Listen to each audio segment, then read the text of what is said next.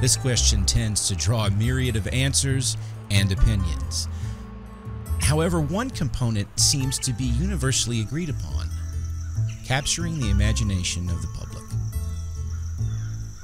Located in the Cookson Hills of eastern Oklahoma, Cherokee County certainly has its share of legends on both sides of the law. But there's one individual, and it depends on who you talk to, that could be on either side. Former Cherokee County Sheriff Grover Bishop.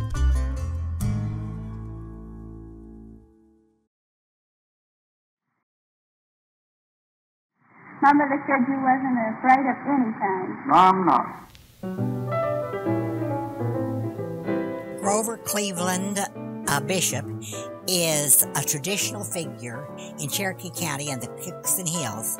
He is uh, a, a folk legend, and that is not surprising considering uh, the area of the Cookson Hills uh, in the 20s and the 30s and earlier. This was an isolated region with very few um, paved roads into the area and none down on the Cookson Hills. The uh, Reed Culver Funeral Home records say that Grover Cleveland Bishop was born in 1894 in Arkansas, and he was the son of um, Jim and Arizona Bishop. At some point in his um, maturing uh, life, he came into the Sellers community in the Cookson Hills, and there he married Carrie Carlisle, who was the daughter of John and Lorena White Carlisle, and they were farmers in the Sellers community. Grover's father made ends meet working construction on the Ozark and Cherokee Central Railway.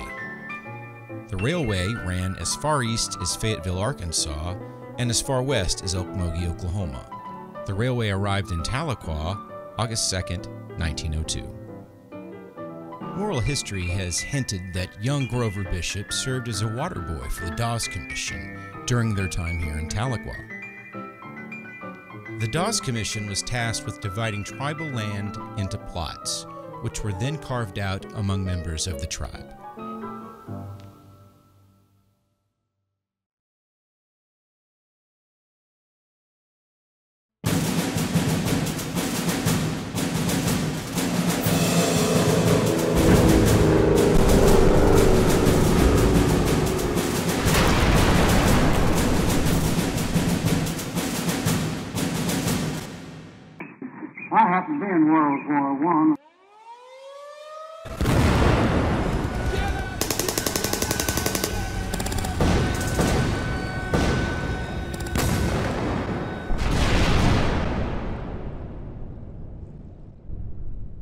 1917, Grover registered for the draft and was off to Europe to fight in World War I. A somewhat forgotten war, World War I racked up a body count of an estimated 15 to 22 million total deaths, which ranks it as one of the deadliest conflicts in human history. Life in trench warfare was as dangerous as it gets. Outside of a well armed enemy, the trenches themselves were just as deadly. Trench foot, a condition where the toes literally rot to the bone, was a major cause of casualties. Additionally, trenches were rife with rats and lice. A veteran of that war once remarked, I was so happy when I got shot in the leg, I knew I'd be leaving the trenches. He didn't talk much about it. Uh, the only thing he would say, he said, uh, I learned to use one of them Gatling guns while I was in the war. And he said, it's, it's helped me now since I got to be the lawman. Said, these outlaws, they try to outgun you and said, you get that Gatling gun, they ain't going to outgun you. there was another guy, neighbor down there. He was in World War One.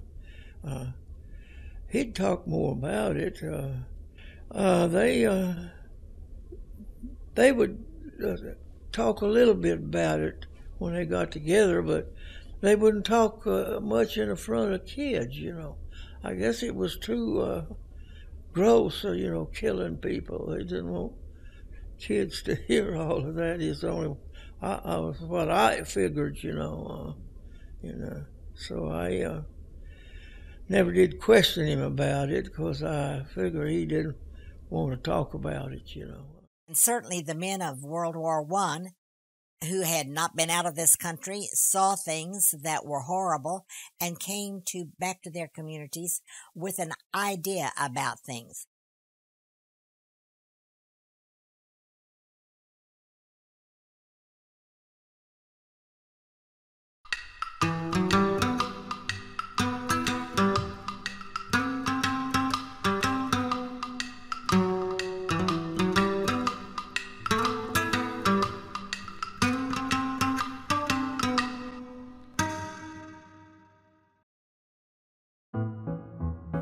After wedding Carrie Carlisle and settling into post war life, Bishop was brought on board the Cherokee County Sheriff's Department in 1928 as a field deputy.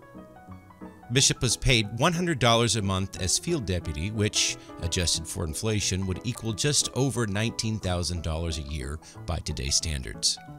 With the passage of the Volstead Act, or National Prohibition Act, on October 28, 1919, Deputy Bishop and the rest of the Cherokee County Sheriff's Department found enforcement of this law as a top priority. The seclusion of the Cookson Hills attracted bootleggers and outlaws in great numbers, not to mention the homegrown moonshiners that were already active. Though many throughout the country thought prohibition was a silly law that should be ignored, didn't change the fact that it was the law and a law the Cherokee County Sheriff's Department was willing to enforce. As deputy, Bishop quickly proved himself an asset. He, he was Grover was the last old timey sheriff. We have 93 planes and our best pilots waiting on our flight. He has the reputation among some uh, who talk folklore that he was a very rough, bad man. Well, I think old man was mean. he was a man of his times. But one has to remember back in those days how tough it was, how tough the folks were, and it wasn't the most surprising thing in the world for a bad guy or an outlaw to open up and start shooting at the police. You know, from what I know about him, he wasn't educated. Um, you know, he, he more than likely couldn't read and write. When you think about um, the and Hills of that day, very few roads in, uh, very few ways to um, make a living, uh, poor soil, uh, an isolated community, or communities, little communities. It is small wonder that uh, he might be rather rough and tough. Many of the little farms in the Cookson areas were subsistence farms, and the rural schools were few and far between, as they were in lots of other areas for that matter. And this was a landlocked area with very little uh, ways of getting in. And as a young teacher, I remember um, making uh, a visit, a home visit, not far from the outskirts of Tahlequah in 1950 to a pitiful little dwelling where that was frame and maybe logs too. I don't remember exactly. But what horrified me, a sad little mother with her two children, and we'd gone with my I'd gone with my principal to see about this child, little girl, and they were living in um, um, house dwelling with dirt floors and um, screen, no screens on the windows, and the children were sick. And that's we found that out when we made this call. And this was in 1947. I was horrified, but that speaks to the uh, difficulty of making a living in this area in the 20s and 30s. The Depression had come on in 1928 and really lasted until uh, World War II. In the 20s and 30s in, in rural Oklahoma, northeast Oklahoma, specifically Cherokee County, uh, Sequoyah County, Adair County, there was really not a lot of uh, efficient law enforcement. Also, you have to remember that the Dust Bowl years weren't far uh, away from that period of time. People were very poor. They were out of work. A lot of people didn't have any use for banks or financial institutions, and they looked upon these uh, Northeast Oklahoma outlaws as almost heroes because they were taking money from the banks and to, in some occasion, they were actually sharing some of the stuff, the stolen goods, the stolen property, the money, with the poor, poor folks in, uh, in Northeast Oklahoma. So a lot of them were more than willing to help uh, Pretty Boy Floyd, uh, uh Carl Janaway, uh, other members of, of that association, uh, they would help them hide out, or they would not cooperate with law enforcement to help these people or help the law enforcement folks find these people.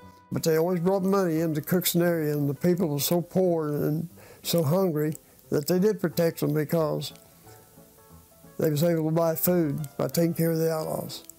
Uh, at one point in time, uh, Pretty Boy Floyd's brother uh, was actually sheriff of Sequoyah County in Sallisaw, although there's no evidence to indicate there was anything particularly wrong with him other than being the brother, but that goes to show you how family ties can be on opposite ends of the spectrum. Yeah, as far as I know, pretty much uh, EW was a, a, pretty honest sheriff. Uh, I've never heard that he had any dealings or, or helped Pretty Boy, Pretty Boy in any, any way, but uh, uh you know, you never know. They're family, they're brothers. My dad and grandpa I lived in on Illinois River and Baron Fork Creek. They told stories. One of the stories was, I remember quite well, was that my dad said he was probably 10 years old and his older brother George was 12 years old. So he was living in a tent down below uh, the Illinois River Bridge, which crossed from uh, across the Illinois River in, to go to the Cookson area. There's a grocery store uh, just on the far end, so just across the bridge. So uh, their dad, my granddad, sent the two boys to go up, even though it was after dark, to the uh, grocery store to get uh, some coal. And as they got at the grocery store, their dad had told them, said, just knock on the door, said the proprietor will open the door for you and sell you the. They seen a curtain or a blanket pull, pull over a window, but they could kind of look past the curtain inside the cab, uh, inside the store, and they could see a table with about a few men sitting around it, and in the middle of the table was a pile of, of money. Well, even as young boys, they decided that they someplace they didn't need to be, so they left. So they go back the next day to get the core oil, and there was about three or four guys standing on the bridge looking down the Illinois River.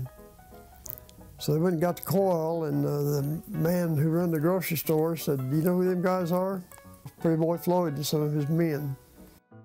The Cookson Hills outlaws weren't alone in showering the public with the spoils of their criminality. Head of what is still referred to as the Outfit, Chicago Mafia boss Al Capone's soup kitchen served thousands a day, three hot meals completely free of charge. Capone was no stranger to the realities of growing up in poverty, but he also realized the benefits of having a well fed, loyal, Depression era public. They tended to turn a blind eye to the wholesale violence that was gripping the country. I wasn't for Al Capone, we wouldn't eat.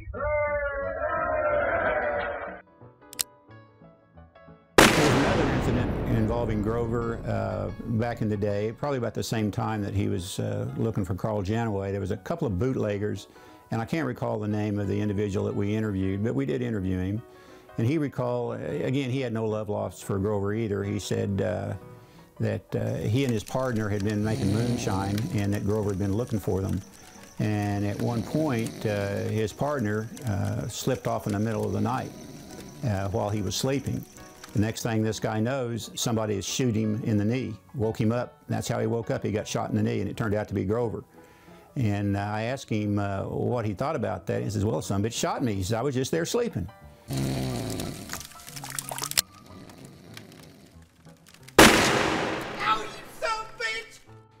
Uh, and that was his story. So Grover uh, was known to not uh, tread lightly on those who broke the law.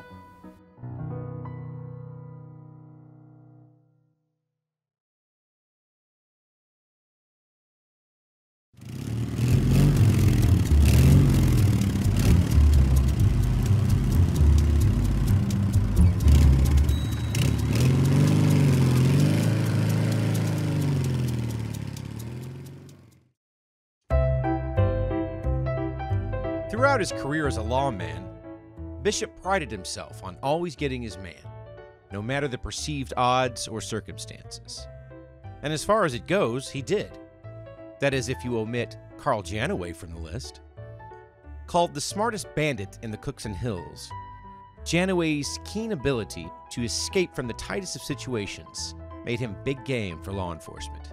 Janaway's understanding of automobiles and his way of outfitting his getaway cars made him an opponent not to underestimate. Of course, when the law enforcement didn't dismiss his top tier skill set, he still had the advantage. Furthermore, his ability to outmaneuver Bishop made him the bane of Bishop's existence. And the irritation didn't stop there. On a number of occasions, Janaway publicly stated that he was positive Bishop couldn't read or write. If Bishop were Sherlock Holmes, Janaway certainly would have been Dr. Moriarty. Of course, Holmes eventually defeated Moriarty, whereas Bishop was winless versus Janaway.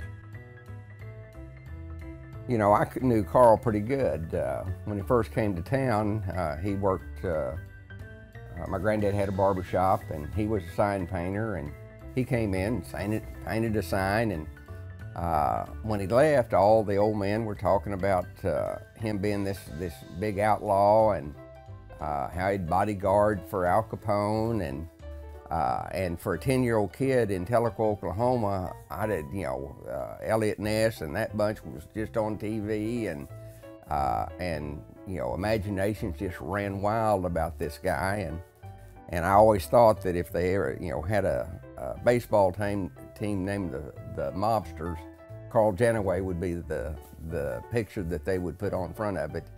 Uh, he wasn't a big man, uh, but he was uh, looked like he'd been rode hard and put up wet, and and had his nose broke two or three times, and uh, uh, so all the kids in town were kind of kind of scared of him. He he'd ride that big old Harley Davidson around town, and and it was an older one. It was looked more like an Indian, and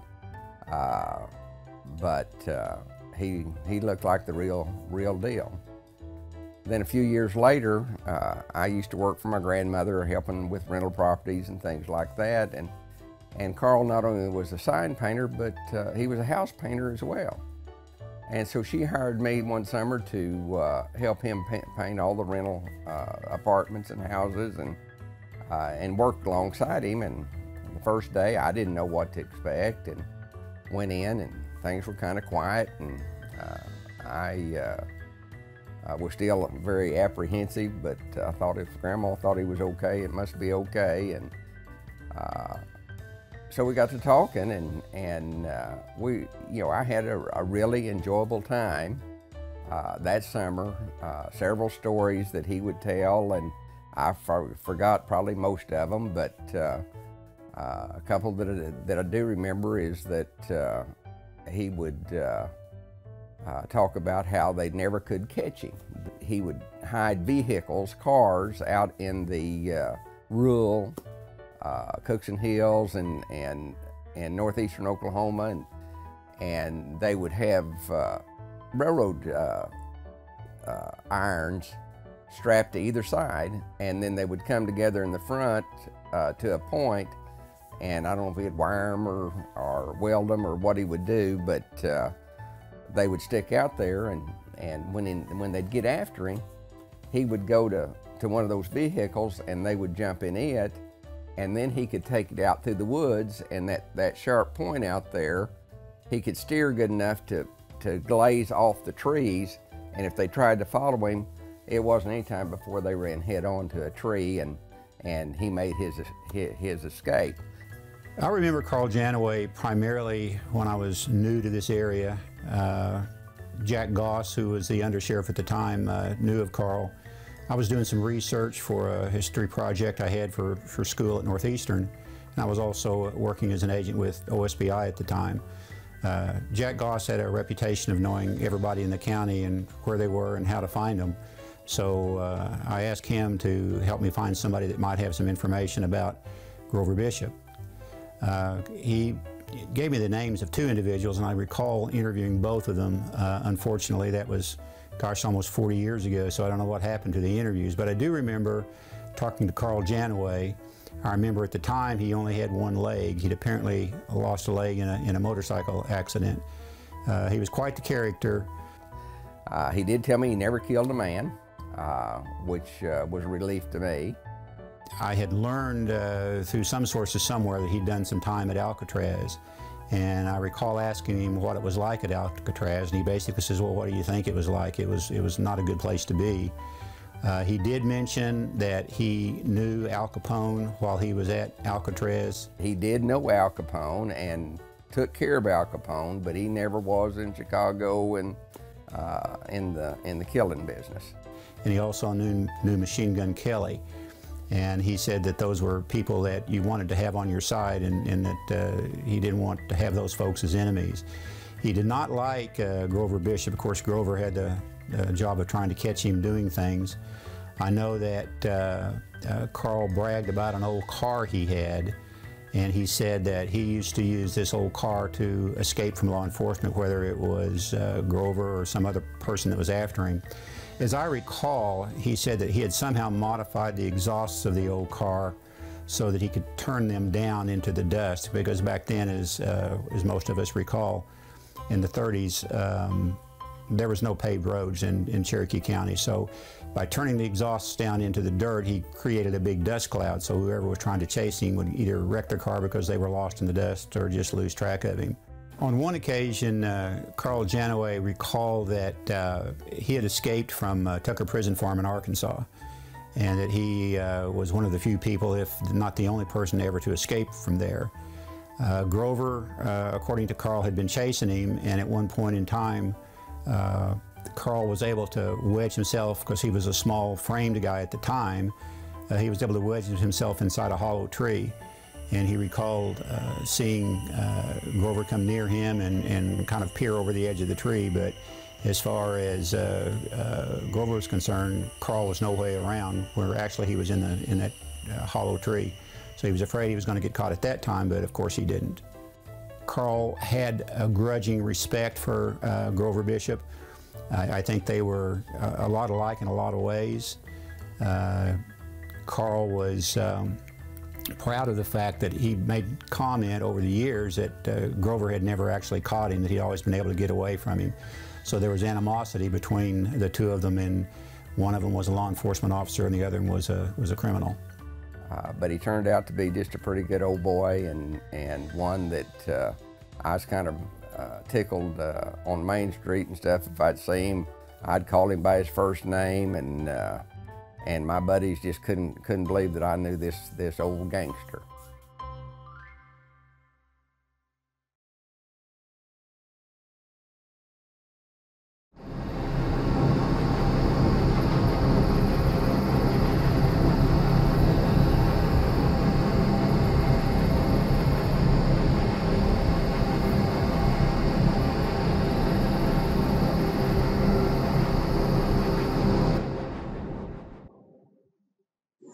Killed three of them. Kind for them, buddy. They were all pretty famous outlaws, too, weren't they? They were pretty tough.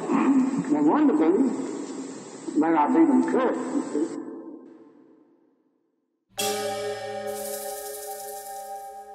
Both written and oral history clearly attest that the series of events that transpired during September of 1932 are what made Grover Bishop a household name in Cherokee County. It began around 8 p.m. on September 2, 1932, on Braggs Mountain in Muskogee County.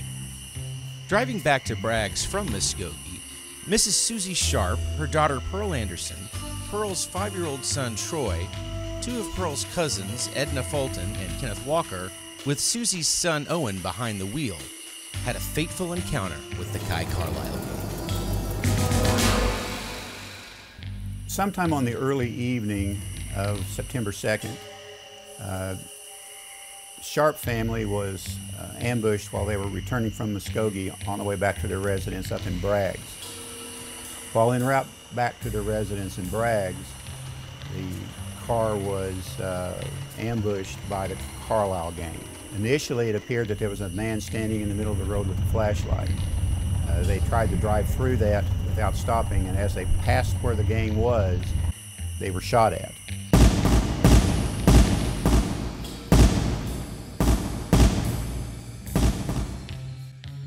With his mother shot and unresponsive, his sister's back riddled with gunshots, along with a bullet in five year old Troy's leg and another in Edna's hip, Owen sped to Mrs. J. H. Barton's filling station just down the road. Safely there, the Muskogee County Sheriff's Department was contacted. Initially, uh, it took a while for officers to get there because the Muskogee County Sheriff was on another call and other officers had to respond first. Sadly, upon arrival at Baptist Hospital in Muskogee, 48 year old Susie Sharp was declared dead on arrival. Thankfully, the other victims survived their brush with fate. In the meantime, a salesman was traveling the opposite direction from Bragg's back towards Fort Gibson when he was also accosted by the man with the flashlight. When he pulled over to stop to find out what was going on, they yanked him out of the car and stole his car and proceeded towards Fort Gibson at a high rate of speed.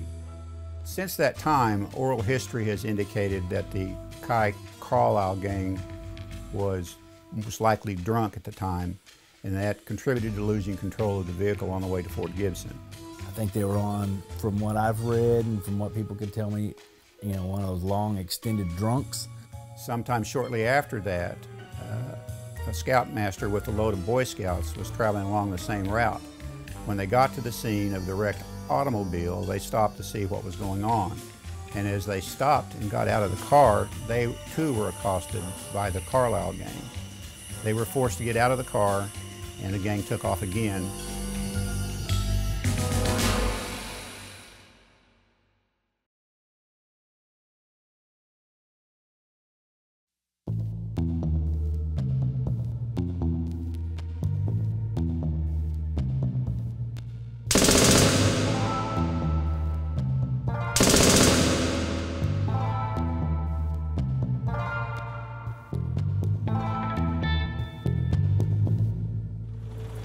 Primarily known for bank robbery, the Carlisle gang that night consisted of Jim Benge, Ford Bradshaw, Eddie Newt Clanton, Troy Love, and the leader of the outlaw group, Thomas Kai Carlisle.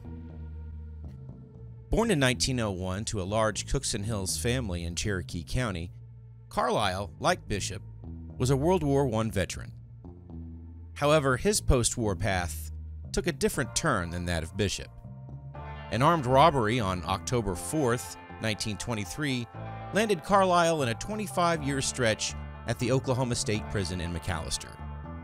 Fancied by many ladies as the handsomest man in Cherokee County, Carlisle's good looks were offset by tattoos, a large bullet scar on his left arm, and a gold tooth.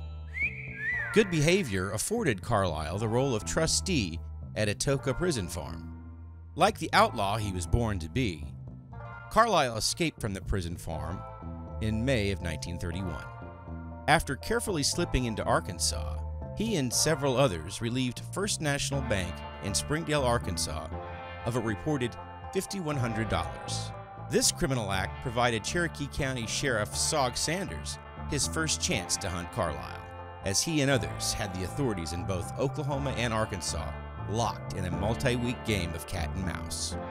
Eventually captured, Carlisle was sentenced to seven years hard labor at the Arkansas State Prison in Little Rock. During the course of his sentence, Carlisle met and befriended fellow outlaw inmate Troy Love.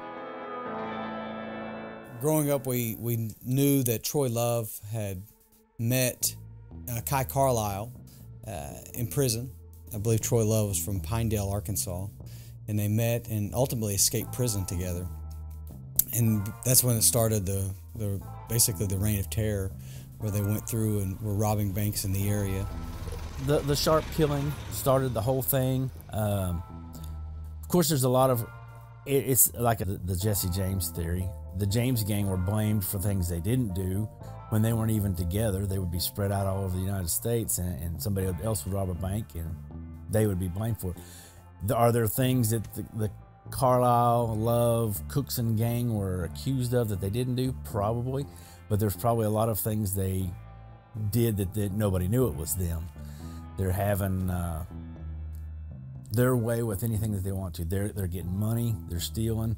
Um, my dad told me that um, his mom which was uh, Marie Carlisle.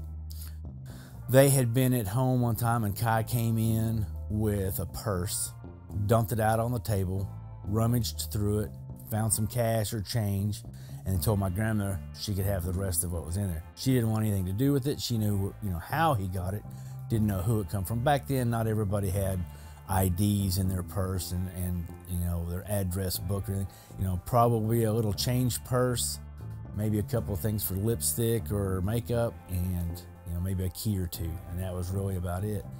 Um, so where did that come from? Did he steal it from a person? Did he steal it out of a car, out of a house? Lots of crimes that they could have been committing, and the family knew. They just didn't know where. You know, you don't you don't want to go out and tell everybody, "Hey, my cousin's stealing a bunch of stuff. Are you a victim?" You know, did did you get your purse stolen? And so you just kind of went on with it. You knew at the same time it might have been 30 cents worth of change in the bottom of a purse. And so they would probably minimize uh, and say, well, it's just a purse. It's not that big of a deal. Not knowing some of the worst, you know, the worst crimes that were being committed or going to be committed that it was building up to. Uh, I mean, we still see it today. They, everybody starts out small. You're, you know, you're only bad once you get caught. When you're caught for your first crime, it, may, it might not have been that big of a deal, but if you don't stop, then it's going to just get worse.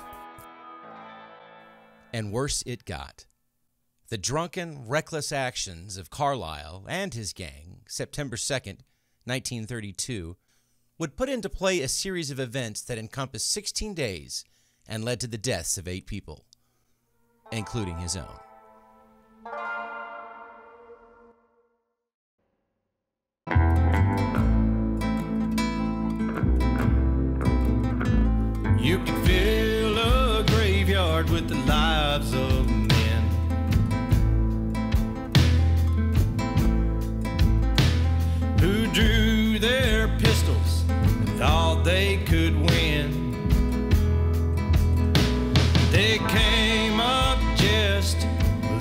Too slow.